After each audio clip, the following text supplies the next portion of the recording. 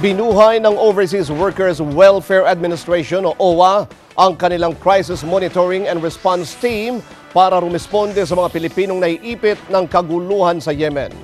Ang CMRT ay isang special committee na binuo ng OWA na magkakaloob ng tulong sa mga apektadong OFW sa mga lugar na merong karahasan.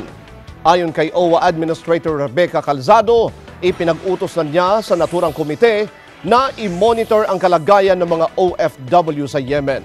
Inatasan din ito ang grupo na makipag-ugnayan sa DFA para sa repatriation ng mga apektadong Pilipino at masigurong napagkakalooban ng tulong ang mga OFW.